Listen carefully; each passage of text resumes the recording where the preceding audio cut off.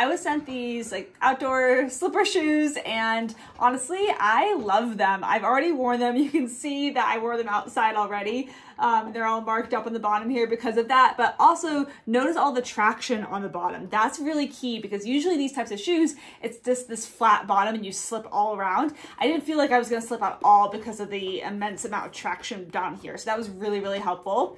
The inside is so soft. When I wore these, I didn't choose to wear any socks with them. I just had my bare foot in here so I could feel the softness of it. Very, very comfortable. And I really like this cute detailing here around the edge, right? This embroidered piece just like makes it look a little bit nicer.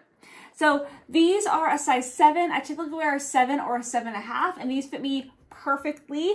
Um, I was wearing them again without socks. I think if I was to wear like a thick sock with them, I might want to size up a half size or so. But without socks, these work really well, especially because in general, I know with these types of shoes, the fluff does tend to get squished down as you wear them. And because of that, I feel like the seven is perfect for me, even though sometimes I can go seven or seven and a half. So overall, really, really cute, really comfortable. I think these are gonna be perfect.